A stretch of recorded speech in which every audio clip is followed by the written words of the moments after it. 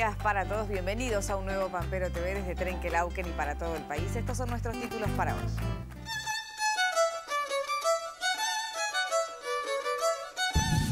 Vacunas al lejano oriente. La Argentina inició la exportación a Corea del Sur de la vacuna antiaftosa formulada en nuestro país y con cepas nacionales. Lo que dejó el agua. Compartimos la situación de una escuela rural inundada en un 80%. Un informe de la Bolsa de Cereales estimó que el trigo será de los cultivos más afectados.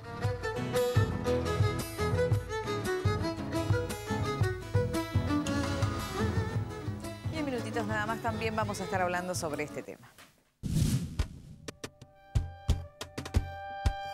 La recría es la etapa del animal eh, después que es destetado, separado de la madre, eh, en el cual el, el, animal va creciendo pero no engorda. Quiere decir que es la etapa de crecimiento donde básicamente el animal va generando y deponiendo músculo, hueso y no está deponiendo grasa, que la deposición de grasa es la que lo determina este, como las etapas finales de engorde y terminación para ser faenados.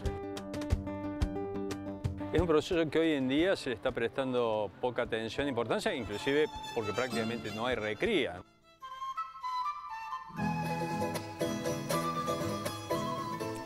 Comenzamos a desarrollar las noticias de este lunes. El subsecretario de Lechería de la Nación, Alejandro San Martino, encabezó un encuentro con la Junta Intercooperativa de Productores Tamberos en busca de avanzar en proyectos productivos con asistencia del Gobierno Nacional. La, reunión de, de, hoy me parece algo muy destacable, eh, que hubo una ruptura de paradigmas. ¿Por qué? Porque acá se juntó la, estaba la Junta Intercooperativa, estaba la Cotagú y había representantes de otras dos, este, de Arroyo Cabral y San Isidro, y estaba el Ministerio. Lo interesante fue que se hizo una, eh, una auditoría, una consultoría para eh, evaluar el estado de Cotagú y hacia dónde, cuáles serían la, las, estrategias posibles de, salida, pero con, con, la mirada de que sea un plan piloto, digamos, para tratar de generar una metodología de análisis que sirva a esta cooperativa, pero que sirva a todas las demás cooperativas de este, la Junta Intercooperativa. Estamos trabajando con el Ministerio eh, y la Junta Intercooperativa en, en un plan de, de, reestructuración y mejoramiento, en este caso la cooperativa Tambera de Huelhuechú. Eh, bueno, a lo largo de todo este año hemos venido trabajando en conjunto, hemos sido visitados por Alejandro San Martino y las autoridades, de ahí surgió la posibilidad de hacer un intercambio técnico a los efectos de evaluar la situación de la cooperativa y bueno, recibir alguna ayuda de, de, carácter económico a partir de un plan de mejoramiento de todo lo que es la estructura productiva y comercial de la cooperativa.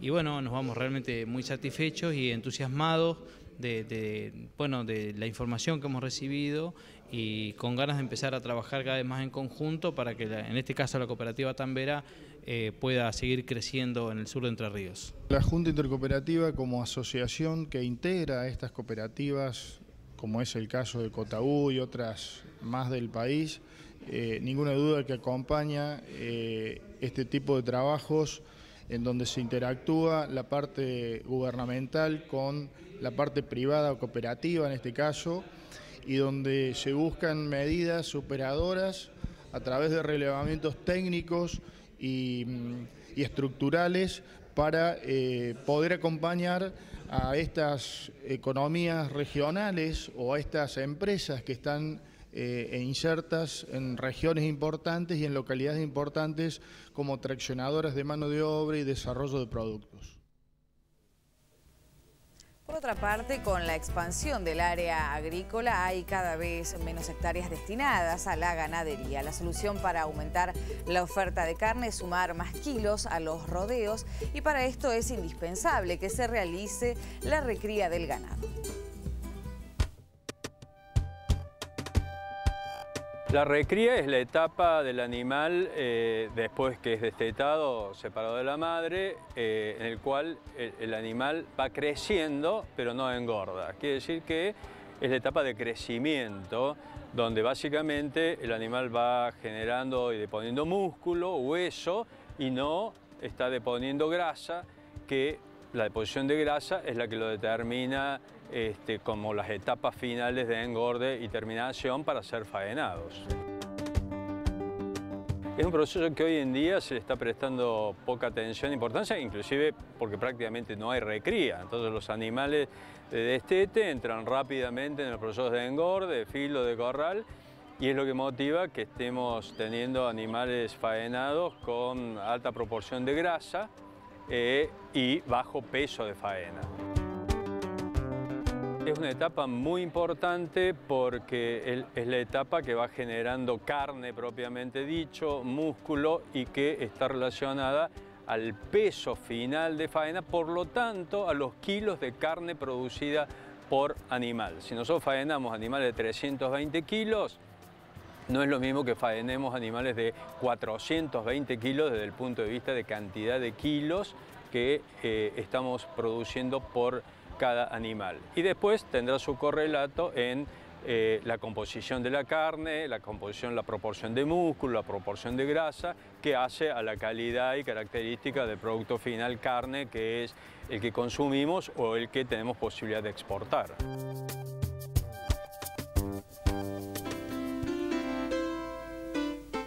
Vamos a ver los últimos valores de cierre para en el mercado de Liniers. Entraron 5.043 bovinos, el valor índice del novillo para arrendamiento es de 26 pesos con 702 milésimas. Novillos de consumo de 25 a 30 pesos con 50 centavos el kilo, pesados de 25 a 28 con 50, regulares de 20 a 29, overos negros de 23 a 26 con 80. En el consumo definido estos son los precios corrientes, novillitos de 25 a 32 con 70, vaquillonas de 20 a 30,80, terneros de 18,29 a 34,50. Vacas buenas de 13 a 26 pesos con 50 centavos el kilo, vacas conserva buena de 13 a 19, toros buenos de 16,20 a 26. Hacemos un análisis sobre oferta y demanda en el mercado de Liniers. La semana pasada se inició con pocas variaciones en los negocios, con precios que estuvieron a tono con la calidad ofrecida. Ya en la segunda rueda del ciclo se dio una buena demanda para los lotes de mejor conformación, luego de un miércoles con un acotado arribo por las lluvias. La semana cerró con una oferta mínima, con el 70% de lotes ofrecidos dentro del segmento de las vacas y un remate que se mostró con firmeza. Para el resto de las categorías no hubo modificaciones de consideración en los precios. Durante la semana ingresaron un total de 19.649 animales, una entrada prácticamente sin diferencias respecto del acumulado en el ciclo previo. La Argentina inició la exportación a Corea del Sur de vacuna antiaftosa formulada en nuestro país y con cepas nacionales para ser utilizadas por la nación asiática en el control de la enfermedad. La Argentina acordó con Corea del Sur la primera exportación de vacuna antiaftosa formulada en nuestro país y con cepas nacionales para ser utilizadas por la nación asiática en el control de la enfermedad. La compra de la vacuna se basó en estudios que hizo el Laboratorio de Referencia de OIE para Fiebre Aftosa del SENASA y que demuestran que la cepa vacunal O1, que se produce y usa en la Argentina, protege al ganado porcino y bovino del virus que afecta a Corea.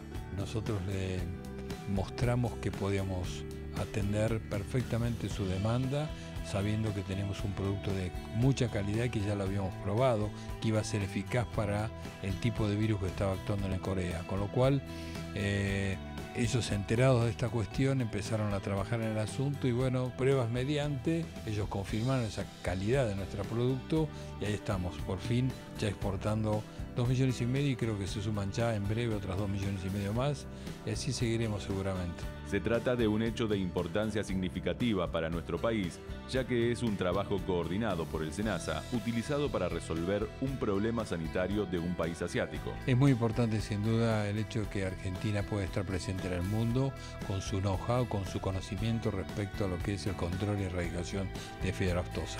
Hoy estamos en condiciones, gracias a este hecho que es haber introducido la vacuna en Corea y estar cooperando con ellos para controlar y erradicar un problema, hacerlo también en otros países del mundo, con lo cual se abre sin duda alguna al hecho de que ya también Argentina esté presente con un laboratorio produciendo vacuna en China, enormes posibilidades de que nosotros hagamos una gran contribución.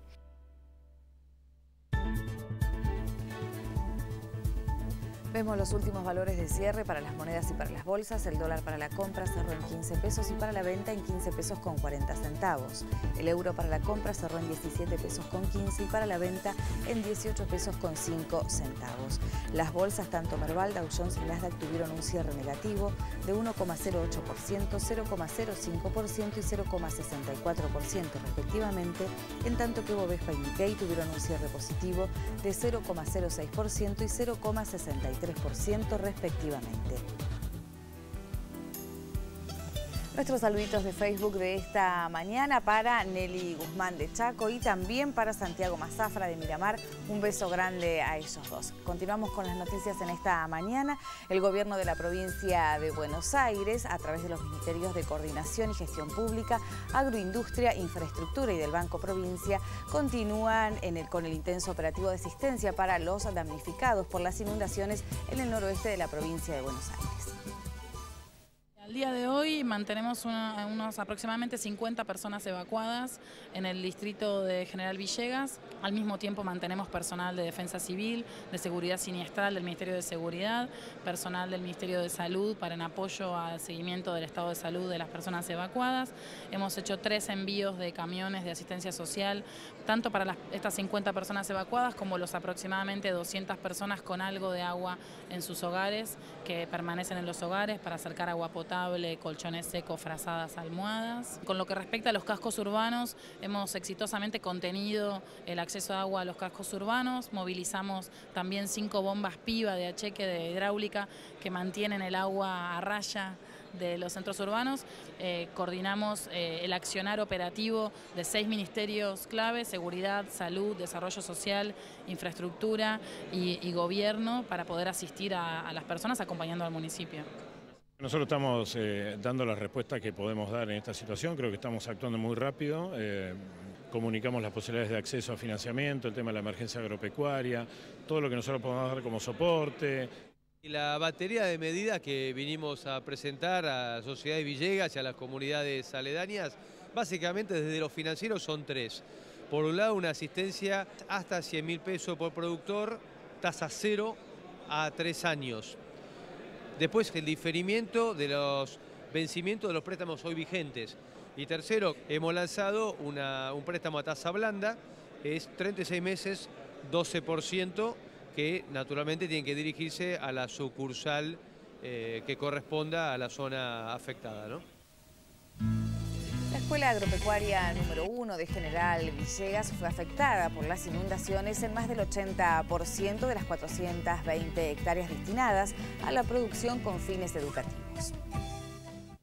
Hace 15 días nosotros empezamos a tener lecturas de napa freática eh, alta y bueno, cuando llega a un determinado punto, que más o menos son 30 centímetros, y nosotros tomamos por precaución eh, trasladar la escuela eh, hacia la planta urbana eh, porque empezamos a tener inconvenientes con el funcionamiento de los baños y para también eh, prevenir una posible contaminación de las napas. Por lo tanto, hace 15 días que con los chicos estamos funcionando en Villegas. las actividades áulicas se desarrollan al 100%, lo que sí no podemos desarrollar es la parte del trabajo en los entornos formativos, que el entorno formativo son los espacios donde los chicos aprenden a hacer, digamos, se, se concreta, digamos, la teoría en la práctica. Eh, igualmente la escuela sigue funcionando, aunque les parezca mentira con esto, todo el personal de técnico, los jefes de área, los maestros de sección siguen viniendo todos los días a atender los animales. Nosotros tenemos un tambo, producimos el maíz que alimenta a las vacas y los cerdos y los pollos, o sea, nosotros producimos el alimento para los entornos formativos y después realizamos los diferentes cultivos para que los chicos tengan, digamos, el panorama de todo lo que se hace normalmente en un campo de la zona, con todas estas circunstancias que también las utilizamos como de aprendizaje, son contingencias y también nuestros técnicos van a salir preparados para situaciones de inundación, de sequía y bueno, todo ese tipo de contingencia. Bueno, de las 420 hectáreas hoy tenemos un 80% del campo afectado por agua. Eh, yo te comentaba que el, agua, eh, el paso obligado del agua es la escuela. Eh, por este tema del anillo de contención, el agua es retenida, digamos, en su momento y se empieza a desplazar por, por derrame natural, digamos, por rebalse, empieza a desplazarse hacia, hacia el este. Pero bueno, eh, hoy podríamos decir que todos los días avanza mucho más el agua y en el día muchas veces notamos la diferencia y tenemos un gran porcentaje del campo afectado, lo cual representa un gran inconveniente. Igual quería destacar que eh, día a día eh, el equipo que tengo de trabajo es fundamental y van salvando todas estas situaciones. Las vacas pobres van transitando de un lugar al otro buscando los lugares secos, secos entre comillas, secos húmedos, pero bueno, se, va, se va sorteando todas esas dificultades y también que desde la Dirección de Educación Agraria tenemos un permanente apoyo igual que el Consejo Escolar, Jefatura Distrital, la Asociación Cooperadora, Asociación de Exalumnos, la comunidad en general eh, nos apoya, nos acompaña. Y el INET fundamentalmente, que es el organismo que... Recorremos el país para conocer el estado actual del tiempo. En este momento Jujuy 15 grados 3 décimas, Salta 11 4, Tucumán 17 8, Catamarca 20, Santiago del Estero 16 8.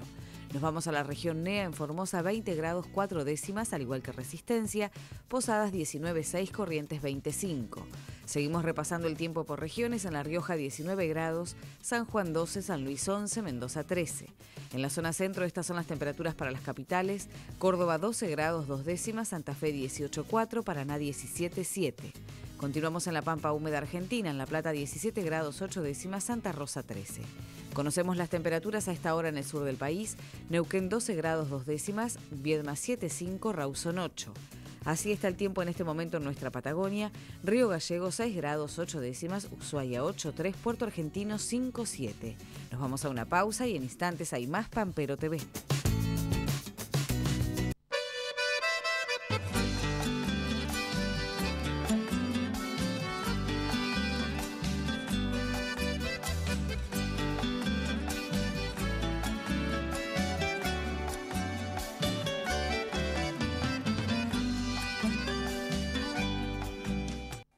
Betanzos Agromercado te ofrece toda la línea de aguadas, molinos, chapas y perfiles, caños, aceites, grasas y lubricantes Lubrax, motosierras, motoguadañas, baterías y completa línea de ferretería.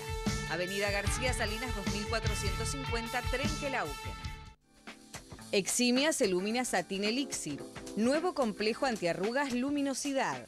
Novedosa fórmula para la belleza sublime. Eximias Elumina. María Pilar Martínez, Villegas 402, teléfono 422545. Y aquel, calidad artesanal en toda su línea de pizzas, calzones y tartines. 18 gustos de empanadas. Proba los nuevos.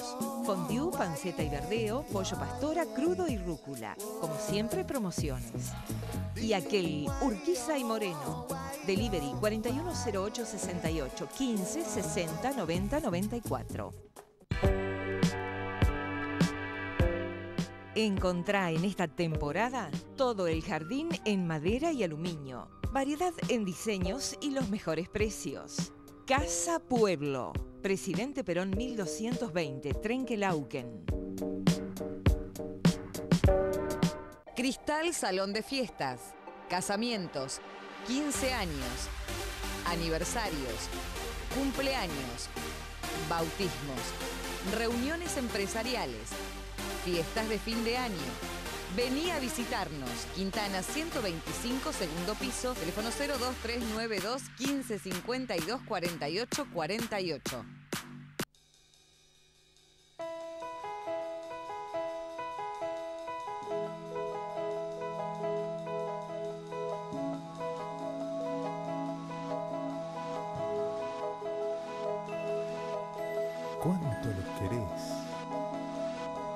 Cualquier cosa por ellos. Pero te das cuenta que por llevarlos sueltos los podés perder en un instante. Los chicos siempre atrás, en sus sillas especiales, con cinturón de seguridad. Esto es amor. Luchemos por la vida. Campaña de prevención del cáncer de cuello uterino. ¿Sabías que cada año se diagnostican 3.000 nuevos casos de esta enfermedad? Hacete el PAP anualmente, desde el inicio de la actividad sexual, y reclama el resultado. Así podés prevenirlo o detectarlo tempranamente. Consulta e informate con tu médico. Es una iniciativa de GENAP.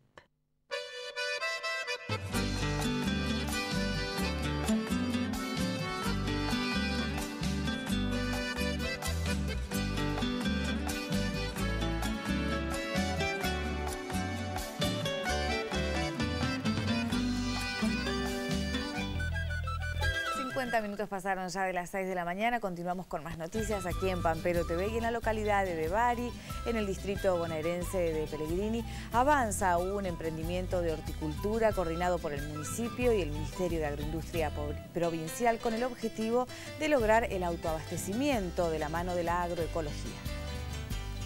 Nosotros iniciamos un, proyecto hortícola en la localidad de Debari, eh, hará cuatro o cinco meses, y también estamos trabajando en la zona regional con otros directores de producción que estamos dentro del grupo RIL, viendo de, cómo podemos impulsar el, que haya un mayor, de, eh, mayor cantidad de emprendimientos hortícolas en la zona y llegar al, abastecimiento local, como una forma de generar trabajo eh, y autoabastecernos y poder generar algún excedente de hortalizas. Este emprendimiento es un terreno de Ferro Expreso Pampeano que hizo una sesión por 10 años al municipio y está ahí al lado de la estación de trenes de la localidad de Bari.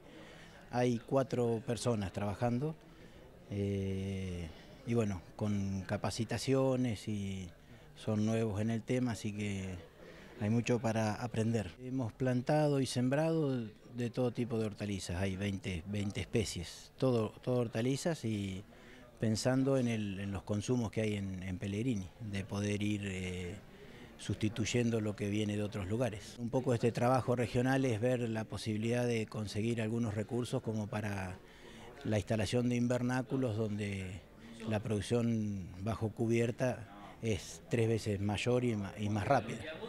El municipio el año pasado gastó 500 mil pesos en hortalizas. De esos 170 mil eran papas, nosotros papas no sembramos, así que hay 300 mil pesos que el municipio, entre los bolsones de comida que se dan en, ayudas y el consejo escolar, e, eso se puede tranquilamente abastecer. Y después los particulares. Vamos a ver las últimas cotizaciones en el mercado de cereales. En los valores disponibles para la soja, 4.100 pesos la tonelada, maíz 2.500, trigo 2.300, sorgo 2.100 en los valores de pizarra para la soja en el puerto de Rosario, 4.110 pesos la tonelada, en Quequén 3.748, maíz en Rosario 2.510, en Bahía Blanca 2.476, en Quequén 2.385, trigo en el puerto de Rosario 2.240 pesos la tonelada, en Bahía Blanca 2.300, en Quequén 2.225, girasol en Bahía Blanca, al igual que en Quequén 4.450 pesos la tonelada y sorgo en el puerto de Rosario 2.100 pesos la tonelada. Pasamos a los mercados futuros. Los valores de la soja cerraron la última jornada semanal con bajas en el mercado de Chicago, presionados por ventas de los productores y tomas de ganancia de los operadores. En el mercado a término de Buenos Aires, las cotizaciones no sufrieron variaciones de consideración. La posición enero de 2017 finalizó sin cambios en 272 dólares con 50 centavos la tonelada. En el caso del maíz, los precios cerraron con tono negativo en el mercado internacional por toma de ganancia de los inversores.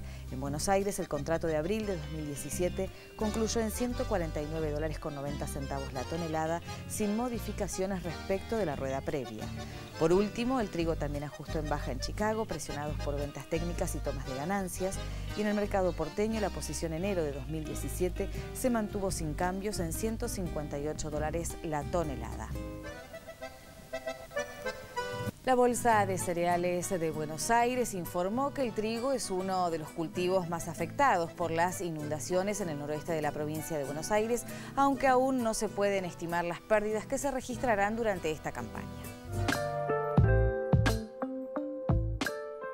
La Bolsa de Cereales estimó que por las inundaciones se perderán lotes de trigo en los distritos bonaerenses de General Villegas, Carlos Tejedor y Rivadavia. La entidad detalló que las inundaciones registradas en algunas localidades del oeste de Buenos Aires podrían afectar el normal crecimiento y desarrollo del trigo implantado en lotes bajos, que hasta el momento se encontraban transitando etapas de espigazón o comenzando el llenado del grano. Asimismo, anticipó que podrían registrarse pérdidas de varios cuadros una vez que los productores tengan la posibilidad de ingresar a los campos a evaluar el estado del cereal. A partir de este panorama incierto y evidente, evidentemente negativo, la bolsa mantuvo en 4,3 millones de hectáreas el área nacional sembrada y en 12,5 millones de toneladas la producción total. Según las proyecciones, los trabajos de recolección se situaron en un 2% de la superficie total estimada, mientras que el norte del país el avance se ubicó en 11% de su área apta, con rendimientos que rondaron entre los 10 y 20 quintales por hectárea, mientras que en el sur de Córdoba se ubicaron entre 28 y 30 quintales por hectárea. En el caso del maíz, también se espera la pérdida de lotes sembrados en las zonas afectadas, pero según la bolsa, ya durante gran parte de la ventana de siembra temprana del cereal se registraron lluvias que impidieron la implantación. A nivel nacional, la siembra registró un avance del 35,9% de las 4,9 millones de hectáreas proyectadas y durante la semana el progreso fue de 1,2 puntos porcentuales, por lo que el área total implantada alcanza 1,7 millones de hectáreas. Por último, en lo que respecta a girasol, los trabajos de siembra ocuparon un 49% de las 1,7 millones de hectáreas estipuladas por la entidad, con un avance intersemanal de 6,6 puntos porcentuales en la implantación.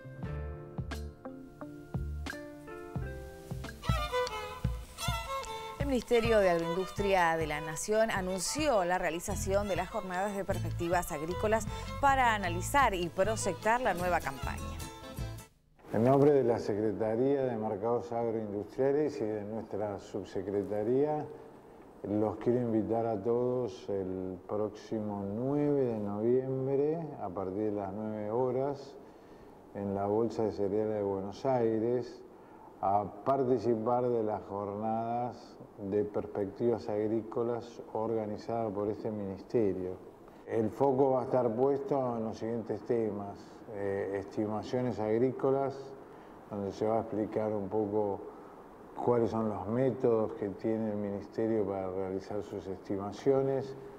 Después vamos a tener la Estela Carballo del INTA, que va a hablar de las perspectivas climáticas.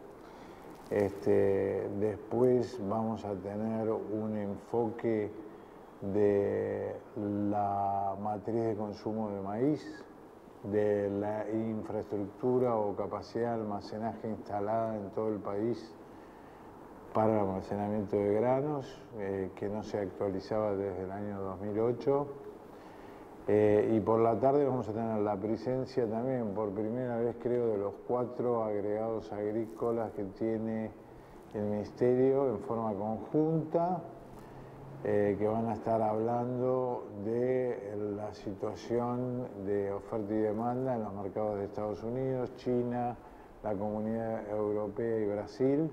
Y por último, la jornada va a terminar con eh, gente de, de, mi subsecretaría también dando una opinión sobre las perspectivas de mercado de trigo, maíz y soja. Así que creo que es un, un evento muy importante, ya está abierta la inscripción. Este, prácticamente llevamos casi la mitad de los inscriptos en dos días, así que recomendamos que se apuren y se inscriban a través de la página del Ministerio. Llegamos al final, mañana seis y media de la mañana nos encontramos nuevamente. Que tengan todos un excelente día y gracias por acompañarnos.